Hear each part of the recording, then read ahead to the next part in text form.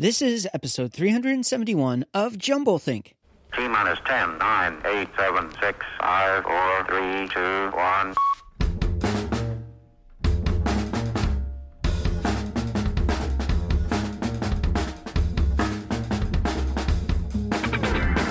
Welcome to Jumblethink, where we interview dreamers, makers, innovators, and influencers all about their journey of turning dreams and ideas into reality. Along the way, we're going to share some tips on how you can turn your own dreams and ideas into reality too. On the show today, our guest is Ryan Casey Waller. More about Ryan in a moment. Whether you're a new listener or a longtime fan, if you've never subscribed to Jumblethink, now's the time to do it. Head on over to wherever you listen to podcasts, search for Jumblethink, and click subscribe. To make it even easier, if you head on over to jumblethink.com, you'll find links to Apple Podcasts, Spotify, Pandora, and more. So head on over, subscribe to the show, and never miss another episode. Now let's join today's conversation.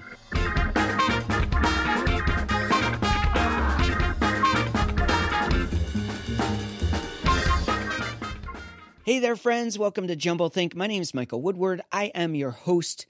We have a killer conversation, a really important topic that we're talking about with our guest, Ryan Casey Waller, in a few moments. But before we do that, we're doing something new. It's a new month, and every month I think I'm going to start doing this. I hope you like it.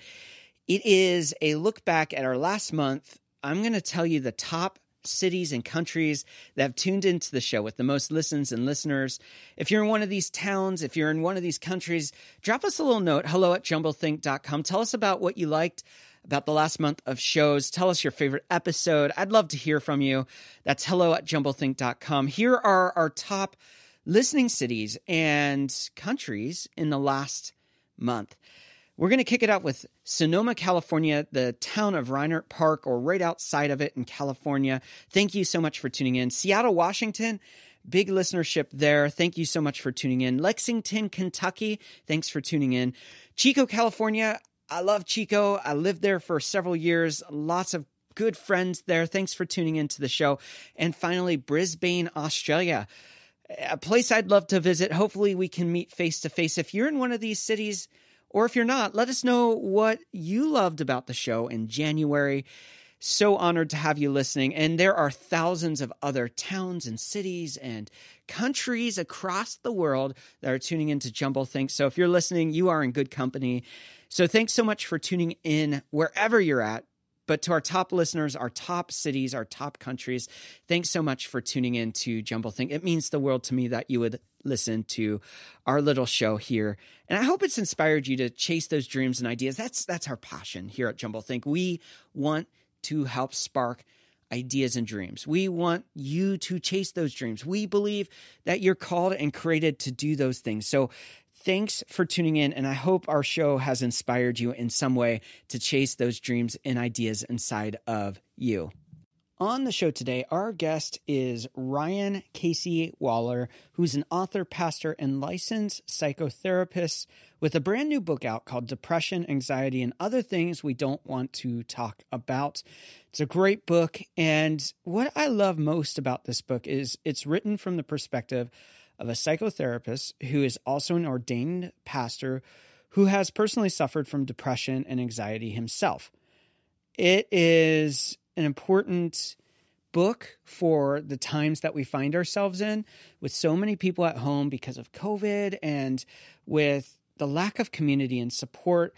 This book couldn't be more timely. So, we're going to be talking about this world of depression and anxiety and much more. It's a really fascinating conversation. So, let's go ahead and join today's conversation with Ryan Casey Waller. Hey Ryan, thanks for joining us on Jumble Think. How you doing today? I'm doing really well. Thank you so much for having me. I'm excited to be here. I'm excited to have you. We're we're talking about your book, Depression, Anxiety, and Other Things We Don't Want to Talk About. We're going to be talking about that world a lot. Before we dive into that, though, I, I want to get a little bit of your backstory. Tell people who you are, how you got to this place where you're kind of uh, uh, becoming a thought leader in the space of of mental health, especially from the faith perspective and within the church. Well, I appreciate that descriptor as thought leader. I'm not sure about that yet, but thanks. um, yeah, I so I'm a licensed psychotherapist here in Dallas.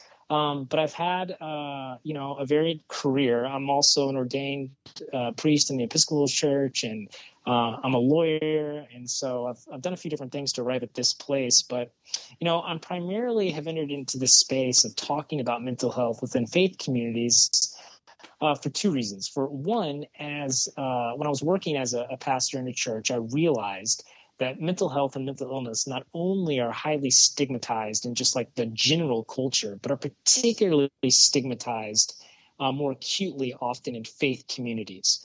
And so, as a pastor, I, I often found myself with people who were in deep pain, going through difficult life transitions, and I would recommend, hey, have you thought about seeking out a therapist? This or like maybe you've got issue uh, with alcohol, you know, looking into AA. And I found that oftentimes people met these recommendations with a great deal of resistance, and I began to get really curious as to why.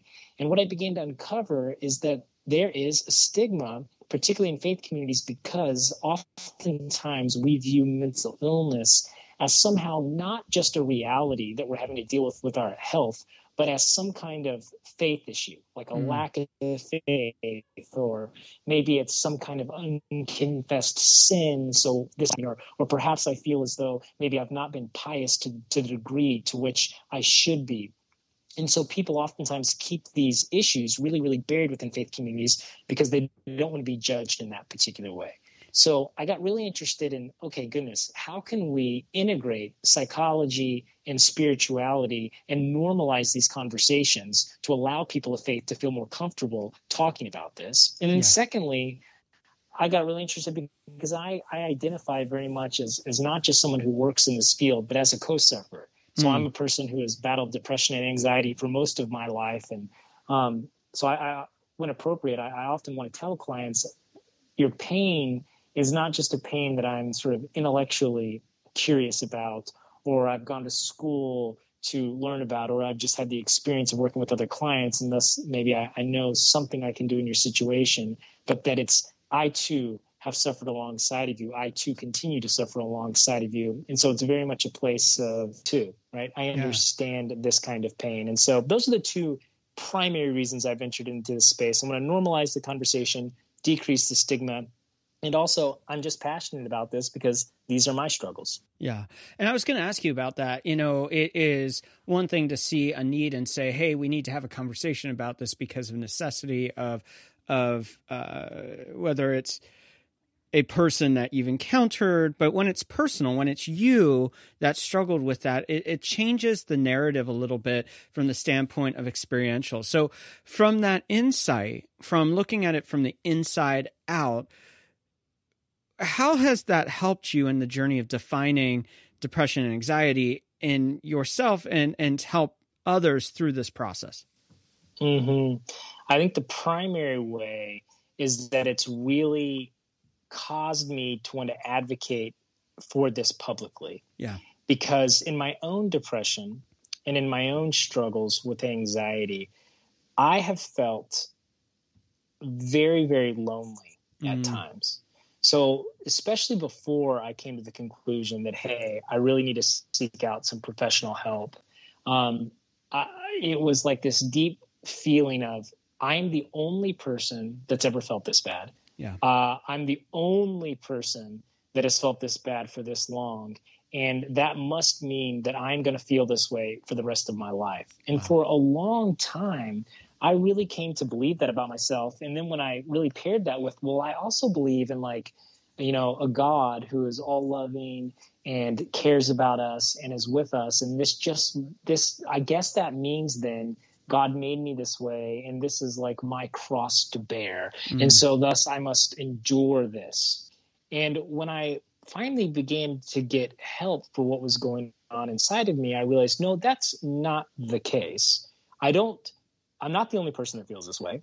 I'm especially not the only person who's felt this way for this long. And just because I felt this way today and in the past does not mean this is how I'm going to feel tomorrow. Mm. These are highly chronic and these are highly pervasive issues, depression and anxiety, but they're also highly treatable. And so I discovered that in my own healing. And then also just in the research, I mean, I always want people to know, like, according to the American Psychiatric Association, it's about 80% of people who battle depression, once they seek treatment, around 80% of them experience a significant decrease in symptoms. So 80%, right? Eight out of 10 people say, like, look, I've had this issue. And when I went and got help, I experienced a serious reduction in these symptoms. So wow. they're, they're treatable. And I always want folks to know that. But I felt so alone. And so, you know, with my own journey, once I began to, to, to find some healing, uh, I, I got to the point where I thought, you know, there, there are only so many people that I can have, you know, one-off conversations with. Um, I thought, you know, it might be worth the time and the effort to sit down and you know and put a book together to bang these words out and put the story together revisit some of my own personal narrative but also just take you know what i know is out there and try to condense some of these topics down into a single sort of accessible book to hopefully give people an entree into the conversation of normalizing these conversations and to lessen the stigma. So that's how i, I got here. It was really um, motivated by my own feeling of this is a very, very lonely journey. And so I know beyond a shadow of a doubt because I've experienced it. And also, I work with people e- each and every day who are experiencing it.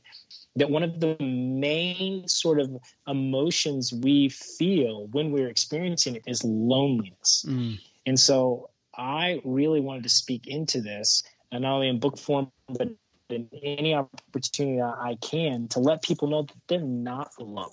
They're absolutely not alone. They're experiencing something that a lot of us have experienced. And it doesn't have to just be a mark of shame uh, in having experienced that. But the more we talk and the more we share our stories, we can find some camaraderie with one another and share our experience and hopefully, you know, encourage each other along in our own paths toward healing. You know, and I, I come from more of a charismatic type environment. Uh, and and you know we talk a lot in those spaces about inner healing. We talk a lot about mm. identity, and yet I think a lot of believers feel like if this is a struggle that they're dealing with, it verges.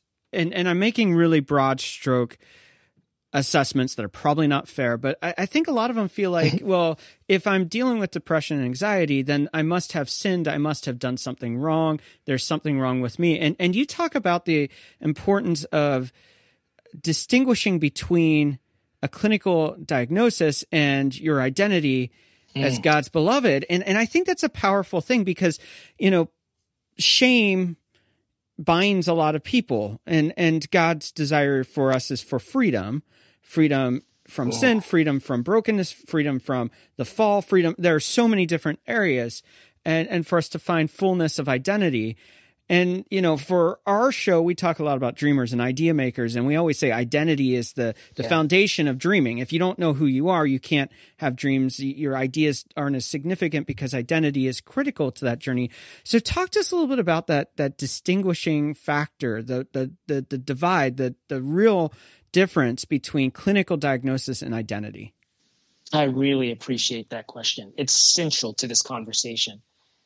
One of the primary reasons I think Christians to identify with mental health struggles is this very issue. They think if, if I am a person who struggles with depression, then that means I am a depressive. If mm-hmm. I if I struggle with alcohol, then that means my identity is I am an alcoholic right? If I have bipolar, that means I am bipolar. And we have this kind of language really interwoven into our lives. You know, we never say to a person that has cancer, you you are cancer. Right. We say, oh, you have cancer. Right. We never say to a person that's a diabetic, you know, um, you you you are diabetes. We say you you have diabetes. But when it comes to mental illness, we do say these things. We say I'm bipolar. I'm depressive, right? Instead of I have depression, right? I have anxiety. And so what we get stuck in our heads is these are static states of being mm. that absolutely define who we are. Yeah. When in fact, they are just portions of our stories. They're an aspect to our to our identity. And I'm I'm absolutely not downplaying sometimes really the importance of acknowledging a clinical diagnosis because oftentimes the people who are on the more severe end of the spectrum with the serious mental health diagnoses um, you know, part of the difficulty in treating that can be this state of denial that they're in of not being able to recognize that they actually need need the help, need right, the medication, right. need the therapies. That that's a real thing, and I don't want it to minimize that. But what happens is is that becomes the the centerpiece mm. of, of of who we are. It can be just crippling in terms of our self-worth what we think we're, we're capable of accomplishing how it is that we treat ourselves. And so where i get at it the book is i'm like look what i'm what i'm saying here is not something that i just think is true in the mental health field but i think this is true in all aspects of our life which i think is similar to what you're saying. If you're going to dream you got to know who you are. I said like if you want to be healthy mentally or otherwise you have to know who you you are. And the identity as God's beloved child, which is to say that deeper than anything else that's true about you, I know this to be true that you were made in the image of God. You were brought forth into being because God chose that to be the case. And you are deeply beloved by God. That's an identity that cannot be taken from you. That's an identity that cannot be warped. That's an identity that you cannot disqualify yourself from. And I think that's really, really important with mental illness because what happens in mental illness is that when we are deeply, deeply struggling, most often we cannot see ourselves accurately. It warps our ability to perceive ourselves of having worth yeah. and being able to love ourselves, much less receive the love of others. And so, this notion, if we can actually take this seriously, that no matter what, we are beloved, God's beloved child, that can just be crucial in the deep, dark valleys of mental illness, or let's say if someone's battling a substance yeah. in those moments of relapse when they just feel absolutely worthless, taking seriously the unconditional love of God can be transformative and oftentimes the very thing right that can give hope when there is no other sort of tangible reason to actually have hope. Yeah. You know I, I worked for years at a church that had a recovery program that was really successful in helping people. And and one of the things that we drove home over and over again was when you follow when you become a follower of Christ and when you find your identity in God, uh, that's where you can begin the journey of true freedom. And I think so often we take symptoms of something and those become our identity. And when they define us, they become almost uh, something that's embedded that we can't get through. Now, I know depression and anxiety have waves where sometimes it's super hard and you're going through a season that's difficult, and there's seasons where everything's going really, really well. And, and so it is something that can come back and cycle through.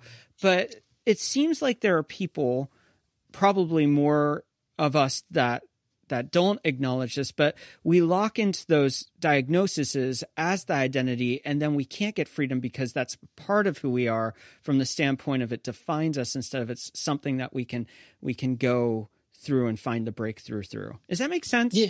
Oh, it makes it makes total sense. I mean, we do it in other aspects of our lives, don't we? Yeah. We attach ourselves. If you think about it in the reverse, right? So if we if we we for instance, I can, I can speak from my perspective.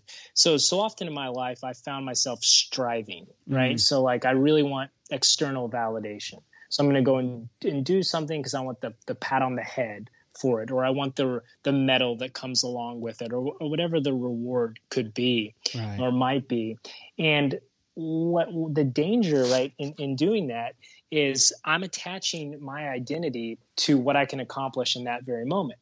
So if I'm succeeding and I'm doing well and I'm hitting those marks that I put out for myself, then I'm, then I'm going to feel really good because, you know, I set out to be, you know, X kind of person. And in this moment, I'm achieving that. And so that's like, I can feel good about that.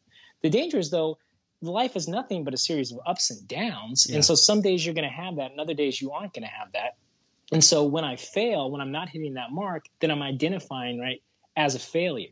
Yeah and I can't and I can't get beyond that because I'm taking the symptoms of success and I'm attaching that that to my identity. Yeah. Well, then of course, if we go in the reverse and we say, okay, I've got you know um, whatever it might be. So in, so in my case, in my depression and my anxiety, there have been times in my story where I've abused alcohol. Mm-hmm. And I tell the I tell the story in, in, in the book. I open the book with talking about coming to church and uh, under the influence of, of alcohol, you know, to preach a sermon, and that being this biggest wake up call in my life. Yeah. That I uh, that I was unhealthy again, and that I really needed to take a step back. But in that journey back, and I tell this story in the book, I was being questioned by uh, a bishop in my church, and, and, and he and he was or asking me to define myself, and I was trying to define myself in terms of my you know relationship to God. And he's like, no, no, no, you know, you are you are an alcoholic, right? You are mm. a person who has who has who, who has a problem with chemicals, and while I absolutely didn't was not denying that I had uh, a toxic relationship to chemicals, I had also at that point come to an understanding by the time that this conversation had happened that if I identified with my symptoms in these symptoms that are that are my vulnerabilities, that was actually just as potentially damaging yeah. as me identifying my identity with the things that I can naturally succeed at. Both yeah. of them are false. Yeah. Both of them are false. And so I said, no, I can't identify myself with anything, anything at its core other than being a child of God. These other symptoms, if you will, these other roles that I play are simply things that I sometimes do in life and things that I sometimes do not do in life. Yeah. I am not a lawyer. Yeah. I am not a therapist. I am not a writer. I am a person who sometimes writes. I am a person who sometimes engages in the art and the science of psychotherapy. Who I am, I'm a beloved child of God. Mm-hmm. That's who I am. Yeah. And everything can work its way out of that. Yeah. But we do, when we identify ourselves with the symptoms, be it for the positive or the negative, we are running a risk, right? Or actually, I would say we're guaranteeing ourselves that we're not going to be, we're not going to be able to flourish to the fullness of who we are because that is a self-limiting belief. Yeah. So I, I think that's really, really a powerful distinction. And you know, I I mentioned a few minutes ago that I worked at a church that's more in the charismatic space, and in yeah. doing so, we did a lot of inner healing, prayer work, and and all of the the things that uh, are on the fringes of counseling, but really aren't counseling. Mm-hmm. So, define for us the difference between getting help from a trained counselor or a licensed therapist versus a pastor or maybe some of those prayer ministries and and when you need to step from one place of help, maybe your pastor, into a place that's a licensed therapist, and and when it's healthy just to say, hey, I can just stay in, inside my community and get help mm-hmm. here.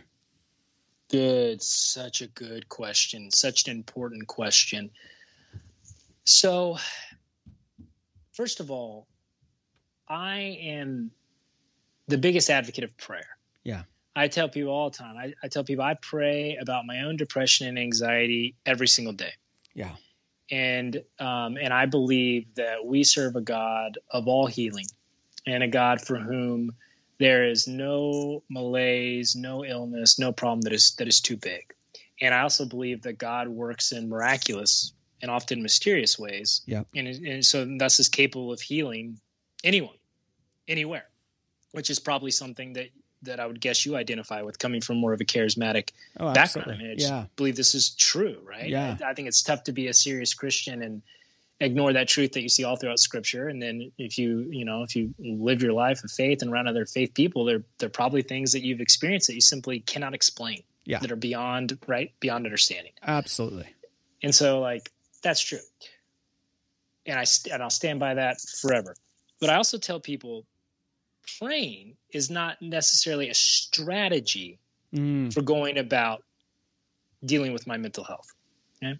So so if we were in a different health situation and you broke your leg and the bone was sticking out, you would most people, right, 99.9% of the population, they might, you know, obviously like pray big time, you know, in, in, that moment. Yeah, yeah. But there, there, there would sort of be no question as to whether or not you needed professional help. Yeah, you're right? going to it's the like, hospital. we're taking you to the hospital yeah. because we we know that we need that bone yeah. back inside of your leg, and yeah. we don't know how to do that. And if we if we attempt it on our own, we might actually end up killing you, right? Um, so just like with the broken leg scenario, oftentimes with mental illness in the faith community, we will take a situation like that that is just as serious, and we will we will somehow convince ourselves that we don't need the help of the professionals because the pain is not as visible mm-hmm. because it's more more psychic. Yeah. And so the question becomes, which is your question, well, how do we know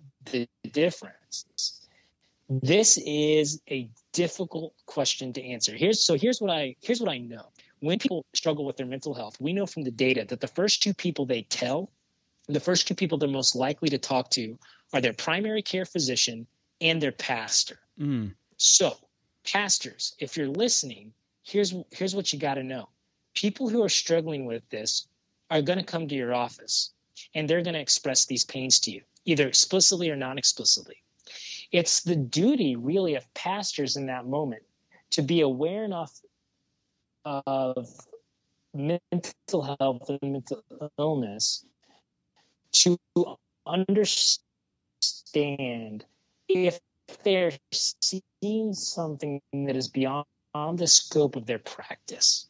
So you're always going to be there, your wisdom, all of that. But what we need you to be looking out for are signs of mental distress Mm. and your willingness to say, you know what? I- I'm absolutely want to keep meeting with you. I want to pray for you. I want to encourage you to talk to your group. But I also think that it might sound like you could benefit from talking to a professional.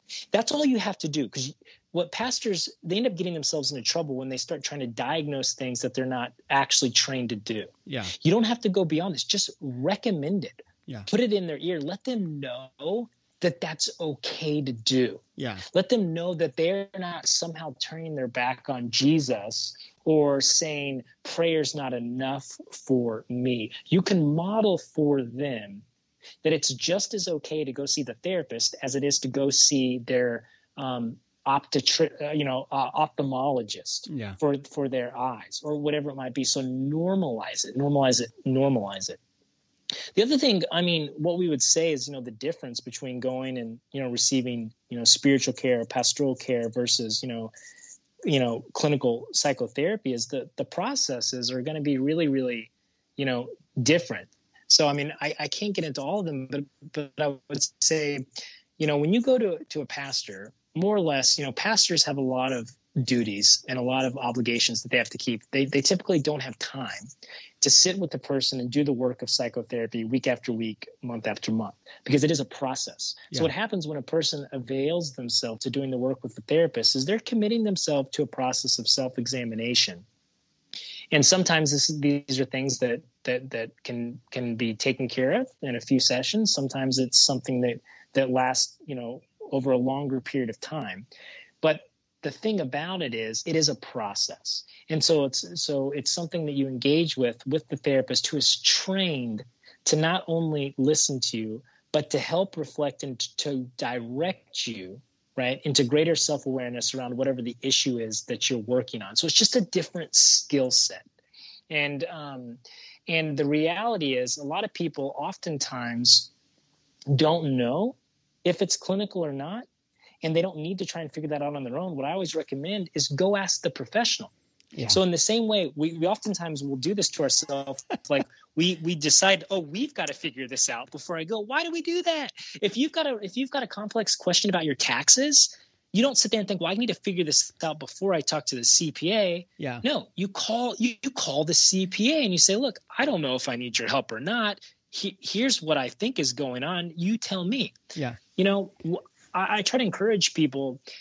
Just because you you reach out that one time, that doesn't mean that you're committing yourself to doing it or that you're saying, "Oh, I've got this massive problem." You're just availing yourself to get the feedback of a trained professional take it into them. What's an hour of your time, really, in the grand scheme of things, and tell them, hey, this is going on. What do you think? Yeah.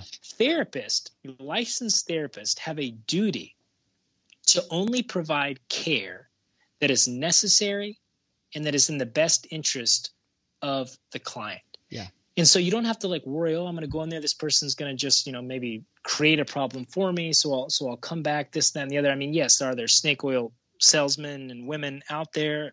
Yes. But ideally, those who are practicing ethically under, you know, a board aren't going to do that sort of thing. So I always want to, again, just normalize and destigmatize to say, if you're worried about that or you're wondering whether or not your sadness or your anxiety or your substance use is rising to the level of some clinical disorder, avail yourself, go. And and the other thing I would say is if you find yourself thinking about this, you know, a lot, the odds are that you would really benefit from talking to someone else about it. Yeah. So go, go, go. Yeah. Yeah. Yeah. I chuckled there for a minute because all of us, if we're honest, have at some point at 11 o'clock, midnight, 1 a.m., gone, I'm not feeling right, and gone to w- Mm. like WebMD, and we start going down like for an hour. We're like, I, I think, I think I'm dying from some kind of rare tumor that only happens in one out of a tr- three trillion people. Hasn't been seen Right. for 50 years. That's what I have, though. I'm going to go to the doctor. And I, I think exactly right. I think we can really relate to that because not everyone deals with extreme depression or anxiety. Mm. And uh, so not everyone can, uh, you know, identify with what it's like to be in the darkest, darkest places that some people have gone. You know, I think we all deal with depression at times, but there's there's a deep, deep depression that uh, I think is even more prevalent now because of COVID. That that a lot of people are just experiencing maybe for the first time or they may never get and it's hard to really empathize or sympathize or or do that unless you have kind of that picture of it's like trying to self-diagnose for what's wrong with your car or what's wrong with your finances or what's and and you ask for help there so why wouldn't you do that here i i, I want to pivot and make sure that we're talking a little bit about covid Yeah. I, I said early on the pandemic that we had two pandemics going on. I said a pandemic of fear and a pandemic of the disease. And Mm. I would really say that that fear, maybe a third pandemic, but a, a, a, pandemic, we're seeing drug addiction rise, we're seeing suicides r- rise, we're seeing all of these different manifestations of poor mental health. And a lot of that can be in this season, especially for people that haven't gone to that place before, attributed to COVID. What can we be doing in this unique time in history to combat some of these issues when it's such an unknown to everyone? Oh man. Well, it's it's well said. Part of the issue, right, is that what makes a mental health struggle so difficult is that unlike other kind of health problems, where so say again to go back to the broken leg issue, if you break your leg, a doctor is going to very very quickly be able to to tell you what they need to do to fix it and will be able to give you a decent timeline you know for your prognosis. It's going to take you know two months three months four months till you're back or whatever it might be with depression and anxiety if you've never experienced it what is one of the more difficult aspects to it is not having that Mm. of not knowing when it's going to end. And that has primarily been the psychic struggle during COVID. So people have looked at this and been like, okay, my, my world has been upended. What I need someone to do for me is just tell me how long do I have to endure this? Mhm. Give me a timetable. Yeah. Because if we know what the timetable is, humans can endure almost any kind of pain.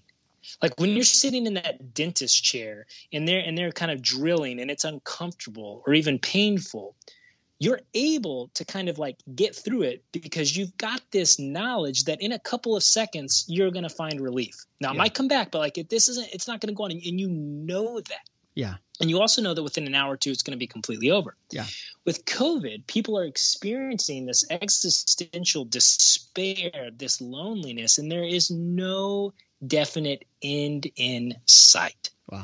And it's really, really difficult. And so it's exactly as you say it is exasperating. People are relapsing all over the place with drugs and alcohol.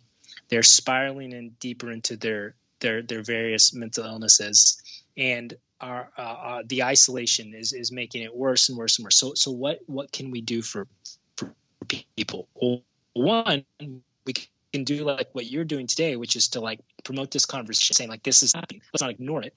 Let's be mindful. Um, and another big thing we can do is check in on each other. Mhm. So the the the isolation here, I mean, we know that human beings are created to form attachments with one another. Yes. That we are not designed to to be alone. And we know this like and we get this like ancient truth right at the beginning of the Bible and God's creating everything. He's saying the fish are good, the the earth is good, the animals are good. There's only one thing here that's not good and that is that the man is alone Yeah. we were not designed to live alone and so thus god creates woman a partner right two people to be together And what we know from attachment theory too is that from the moment, you know, babies are born, the the outcome of that particular person's life is highly dependent on what kind of attachment is formed to their primary caregiver. Wow. If there's a solid attachment that that is created, we know that that person has a has a much um, higher likelihood of going on to live a you know healthy, right, successful, well-adjusted life. Yeah. And so right now, if we are concerned not only for ourselves or we're concerned for other people, we may be cut off from one another physically, but we can be there for one another emotionally. Yeah. We can be there for one another spiritually. We have to lean so hard into that. An addiction psychiatrist, and I, and I tell this story in the book, who I, he, he sees people who are deep, deep in the throes of addiction, often oftentimes in life or death situations and was telling me once that even with his most critically ill patients that he says if he can get those people plugged into a community yeah. so in other words if, if they can get some place where they know people and other people know them he says that half of the battle is won. Mm. and i was like you, you you've got to be kidding me. You're a Johns Hopkins trained psychiatrist with every resource right at your fingertips, and you're you're telling me that half of the battle here is just people having friends and he's like that's exactly what i'm telling you. Wow. It's exactly what i'm telling you. Wow. So I know it's it's like shocking but all the research bears this out too. So we we we have to um we're in uncertain times. We don't know when this is going to end. We don't know we don't know you know what the world is is going to look like when we come out on the other side of it. But what has always been true is still true is that we need one another. Yeah. and so if you have to whatever that looks like for you if that means you've got to join and i hear people say this all the time like i'm, I'm tired. I don't want to do the zoom thing anymore. You know I, i'm tired. I want to see i understand that you might be that you might be tired of it. I understand that it's not the same. I mean the oxytocin the chemical that is released in our brain when we're with other human beings that makes us feel good and wants us to have more of that attachment is not released in the same way when we talk to somebody on a screen yeah. that it's released when we're sitting in the same room. Like this is all true but it is better than doing nothing. It is way better than yeah. doing nothing. And so we have to dig deep here, guys, and we have to continue to reach out and to continue to connect with one another because ultimately, if we do not do that, right, we're going to spiral. Yeah. And for those who are struggling with depression, if you're listening to this, you probably know that many times in your depression, depression will tell you to do the exact opposite thing that, of what you really need to do. Right. And for many of us with depression, it tells us to isolate. It tells us, no, no, no, no, no, don't reach out. Don't text that person. Don't return that phone call. Don't show up for that support group. And just stay exactly where you are. And that'll sound really good. But we know that doing that, isolating, only makes it worse. Yeah. So we've got to reach out and yeah. we've got to be there for each other. As we wrap up this uh, segment, I I wonder if you could share one or two tips, whether it's to a pastor who shepherds a community, whether it's to a believer who uh, is just a normal Sunday going church member, whatever that is. What could they do to help shape maybe not the conversation, but the relationships that they have so that it can be a better support to the people around them mm. who might be struggling with this? Yeah, that's a really good question. I've found that most people are sensitive to this once they're they're made aware of it. And especially for those who haven't struggled with it they think oh my goodness like i can't imagine feeling that way or feeling that bad. And they think i, I want to know what is it that i can do um, you know to, to help? But they find themselves fearful yeah. that if they ask the question, if they bring up the topic, they're going to find themselves in a situation where they don't know what to say next. Yeah. They feel like, oh my gosh, well, if I do that, if I ask someone, I mean, are you depressed? Or if I ask someone, are you thinking about hurting yourself? What if they say yes? Mm. What do I, what do I do then? Yeah. And some people are afraid too. They think, well, I don't want to plant the idea in their head, especially with young people. If I ask them if they're if they're thinking about you know hurting themselves or, or even killing themselves well, well maybe i'm opening that that door up and so there's all these fears that we have that keep us from asking the question and here's here's what i want to say to those people those of us who hurt in this way if you ask us the question, you are not going to put the idea in our head. It's already there. Mm, You are you are not going to make us hurt worse. Yeah. You're not going to embarrass us, and we are not expecting you to have any answers. If you ask us the question, what is most likely to happen is that we're going to feel really loved and we're going to feel seen mhm, in that moment. mhm. And we're going to feel like, wow, this person cares enough to hold some space for me. Yeah. And we're going to feel loved. And what you w- what you need to know, the person asking the question, is that you don't need to do anything else than ask the question and then be willing to sit and listen with no judgment. Wow. Just receive. Allow the people to be in the same way that Jesus would allow people to be with him Yeah. just to, just allow it and then here's here's the magic thing all you have to say even if it's as mild as yeah i'm feeling down or it's as extreme as i feel so hopeless that i want to die. Hmm all you have to do is, is say this. It sounds like you're in a lot of pain. I can't imagine how painful that must be. You know there are professionals who are trained to deal with just this kind of pain. I wonder if you should reach out to one of them. Yeah. that's all you have to do.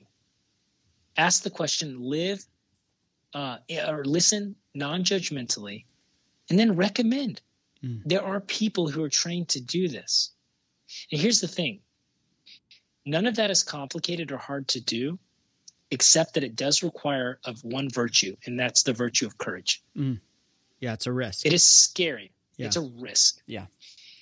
it's worth the risk and i promise you i promise you there are millions of people who desperately need there to be people in their lives who are brave enough to ask the question. Wow. there are so many silent sufferers and they've been writing me emails ever since this book came out a couple weeks ago and they've been signing it your co-sufferer. Mm, there are lots of us that are out there hurting and you can make the biggest difference. You could perhaps save a life by simply asking the question and listening.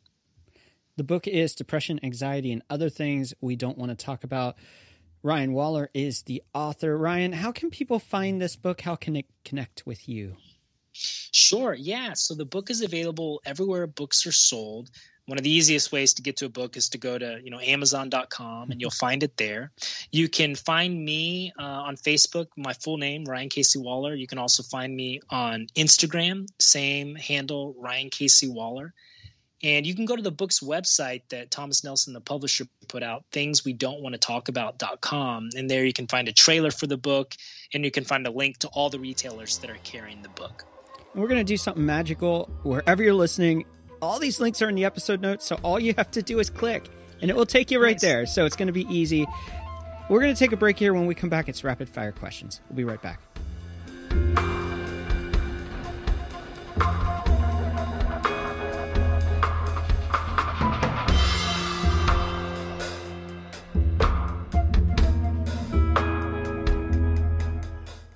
Later this week, we have another incredible guest joining us, recognized as the first artist to have an album debut at number one for both the Billboard 200 and the gospel charts simultaneously. Rapper and activist Lecrae is one of the most important voices of our time.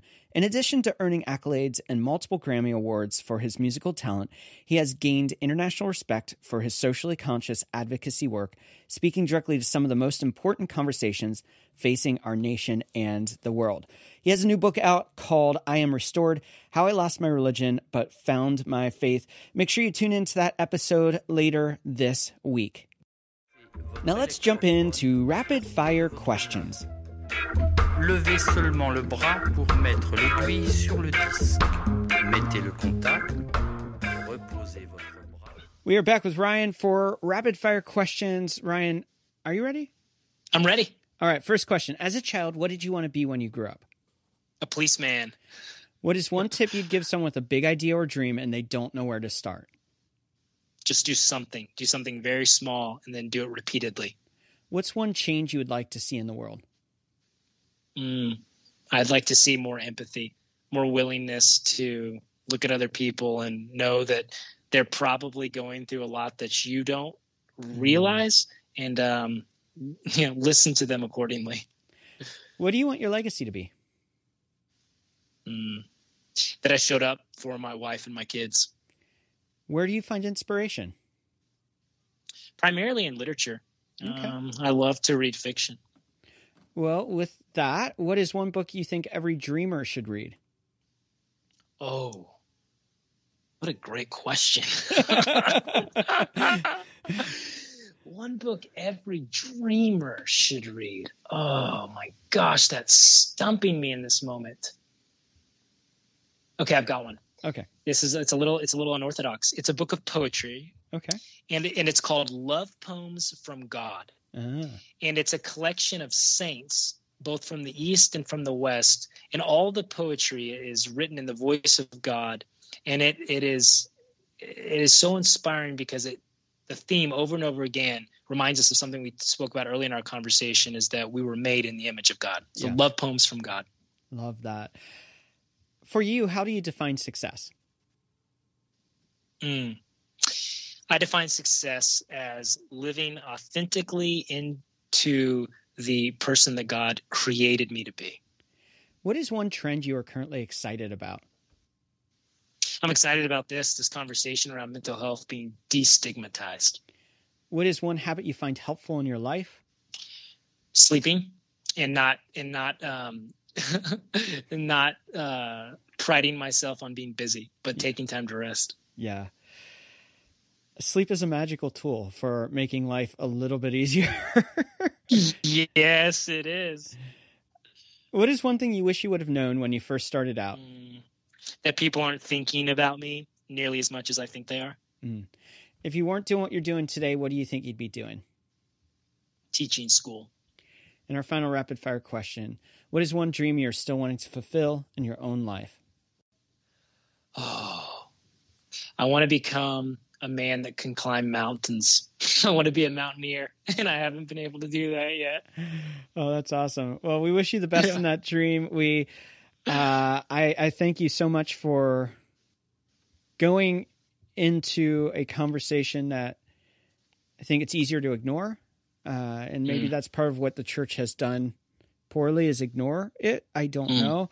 But thank you for being willing to go there, especially in a time in which this conversation is even more significant than it was maybe a few years ago with just everything going on. I, I think um, bringing awareness, bringing openness, bringing the availability of the information that you share in the book is just really valuable. Mm. Well, thank you for modeling how to do this, for how to, you know to ask it to get into it. So thank you. It's it's people doing what you're doing that's going to help us destigmatize and encourage people to find the help that they need and is so readily available to them. As we wrap up, we always like to leave our guests have the final thought. What would you like to leave everyone listening with today? Hmm. I'd love to leave you with the possibility that tomorrow can be very different than today, especially if you're suffering. Some people have been suffering for so long they think there's no way that it's ever going to be different. And I want you to know that's a lie that depression loves to tell. Mm. You have no idea how much healing is out there. You have no idea how different tomorrow can be than from today. And if you can't believe that for yourself today, let me believe it for you. Yeah. Ryan, thank you so much for taking time out for sharing about this space and encouraging us to have these dialogues. I'm so thankful for people like you who are taking the risk to do this and bring awareness to a valuable, important conversation that, that needs to be embraced by the church more. So thank you so much. Yes, sir. My pleasure. Thank you. Once again, we want to thank Ryan for taking time out and joining us here on Jumble Think. His new book, Depression, Anxiety, and Other Things We Don't Want to Talk About, is out now. You can find those links in the episode notes. I want to thank you for tuning into today's show. It means the world to me that you would listen, and I hope wherever you are in life, whether you're going through moments of depression, anxiety, fear, and doubt, or whether you are at a place of just incredible breakthrough in your life, incredible things happening. Wherever you are in your life, know that there are other people who love you, who need you, and want to be a part of your life. So take some time today. Spend time with those people, whether it's picking up that phone, just calling them, jumping on Zoom, or even that nice face to face coffee meeting, get together with someone. Let them know how much you love them. Let them know what they mean to you. And if you're struggling, share what you're struggling with. Begin the journey of turning your life from a place of despair to a place of hope. We believe in you. We believe that you were created for something awesome, that your dreams, your ideas, that you matter, that the things that are inside of you are significant and the world needs it. So take some time today. Take stock of where you are and begin that journey of chasing those dreams. Thanks again for tuning in. We believe in you. Now it's your turn to get out there, dream big, and change the world around you.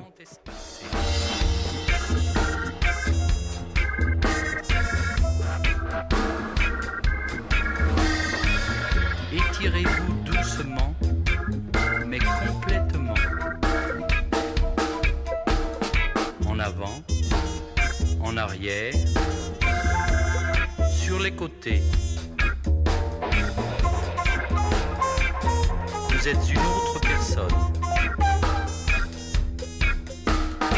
Les mères de famille, les enfants peuvent également prendre un moment revitalisant.